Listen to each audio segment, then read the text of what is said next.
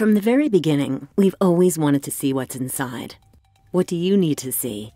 YXLON can show you what's inside and so much more.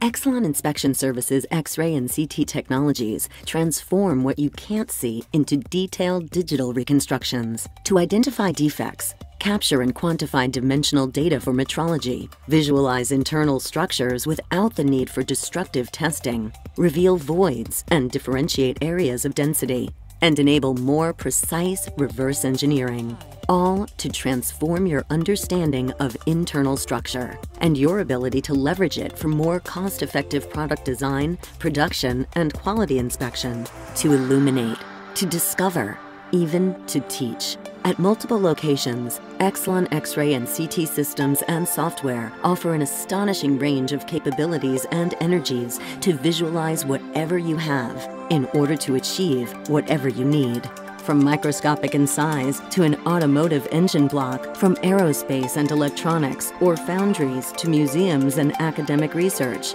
YXLON technical experts can deliver 2D, 3D, CT, and X-ray, still or video reconstructions with incredible precision. Regardless of objective, kind of product, type of analysis, or industry segment, companies and institutions worldwide trust YXLON to provide rapid analysis, inspection, examination, and dimensional measurement, plus all the support and advisory consulting they need to make better decisions, to create better products, to uncover new knowledge, to see what's inside.